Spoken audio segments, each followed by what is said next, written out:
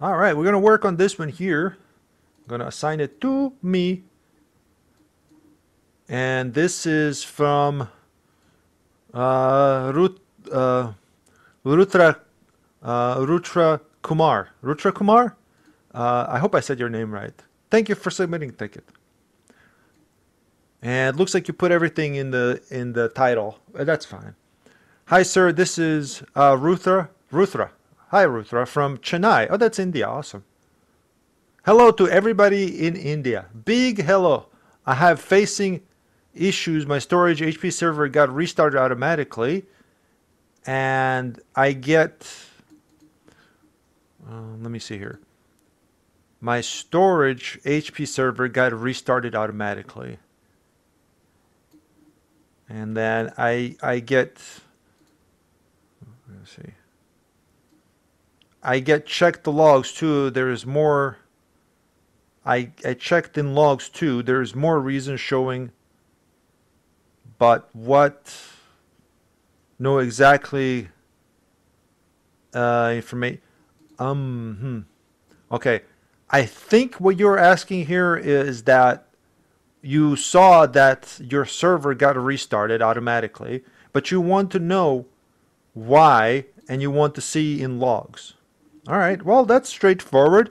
So if you right click your start button and then go to event viewer, you should be able to see this. This is a good ticket because I haven't talked about event viewer much. There's a different version of this. I forget what it's called, but there is, uh, um, I think it's called system. Oh boy, what it's called? There's I have a video on this specifically.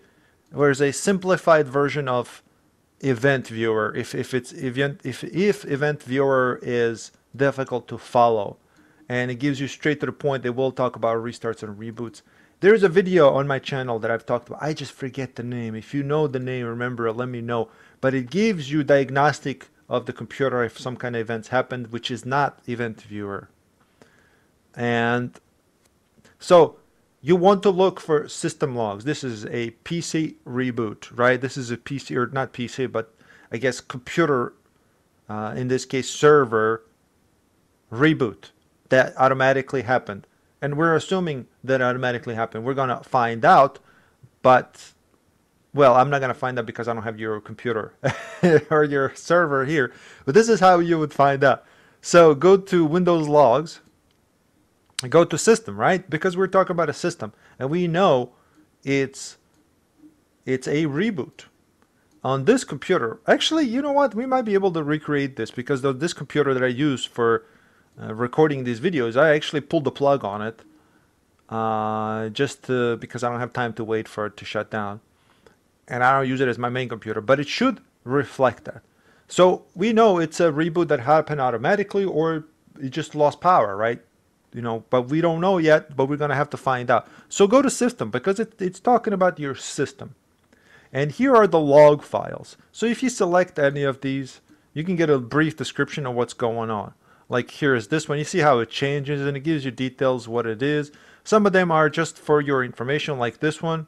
And here are some uh, basic issues and it's talking about reset the device blah blah blah these are normal warnings that you would see unless you're experiencing some specific issues.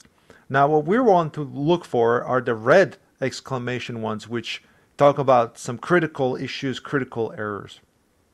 And we can sort this. However, this thing is super, super slow. We can scroll down to it and follow the timeline. You can see that this is 429. So I'm recording this on Friday, 9:16 a.m.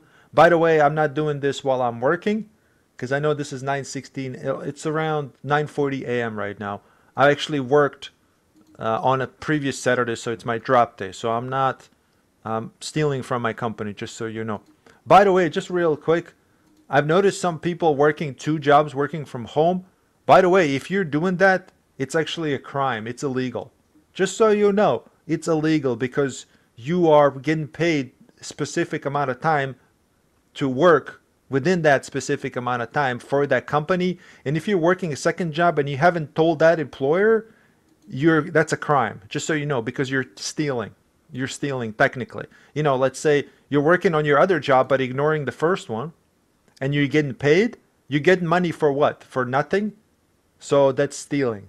Just so you know. Sorry, it's just a little bit of out of out of So when I'm scrolling down, and you can find the timeline, here's a critical one right here. Look at this. And here's exactly what I was looking for. And it just happened to just happened to be. It says critical here, and it's talking about system power. And it says the system has reboot, rebooted without cleanly shutting down first. This error could be caused if the system stopped responding, crashed, or lost power unexpectedly. Lost power unexpectedly.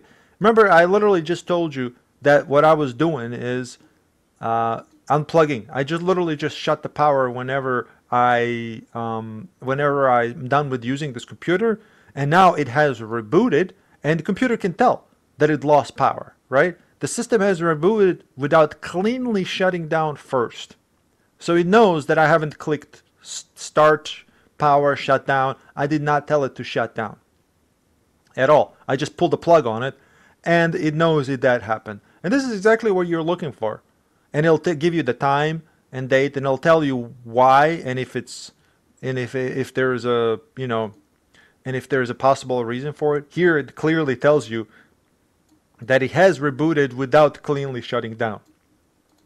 And most likely causes loss of power. It could be crashed too.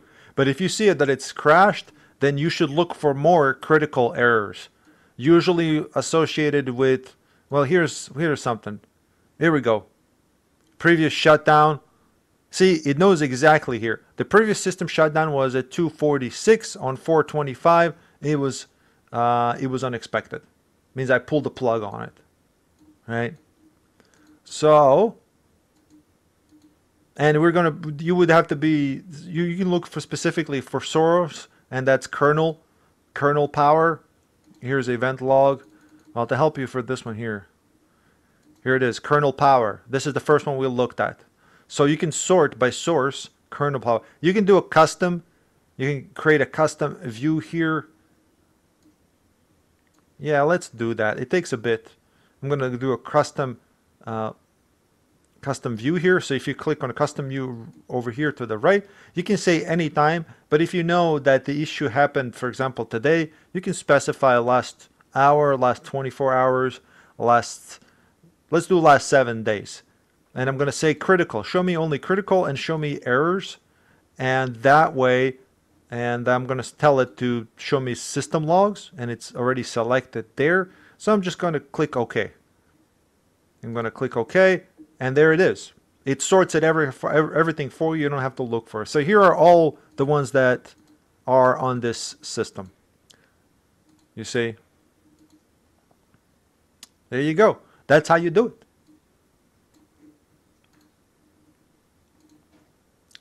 Okay. Hello, Ruthra. I have your ticket for um, checking system logs. You can use the event viewer to find the reason for reboot. And you can also look through there and look to see if it was like a system update that caused it. Scheduled system update. It's all in there. You just have to spend time looking for it, you know? So it's not necessarily just shut down. You can look for other things. That's the point of it. Uh, please watch my video for explanation. Uh, let's say this Sunday. Number 26.